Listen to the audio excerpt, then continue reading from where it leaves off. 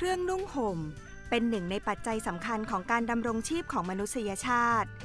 มนุษย์จึงคิดประดิษฐ์วัสดุจากธรรมชาติมาทำเป็นผืนผ้า ใช้ห่มคลุมร่างกายให้ความอบอุ่นและปลอดภัย นับเป็นการแสดงเอกลักษณ์ทางวัฒนธรรมอย่างหนึ่ง นวัตกรรมของผ้าสั่งสมเรื่องราวประวัติศาสตร์ ศิลปกรรม ความเชื่อ การปกครอง ผ่านรูปลักษณ์ เทคนิคการทอ และวิธีการใช้ผืนผ้านั้น เกิดเป็นมรดกผ้าทอในแต่ละภูมิภาคของประเทศไทย สะท้อนเอกลักษณ์ทางวัฒนธรรมที่หลากหลาย ตลอดจนการรังสรรค์ลวดลายอันวิจิตรทั้งในราชสำนักและวิถีท้องถิ่น กรุงศรีร่วมสืบสารความเป็นไทย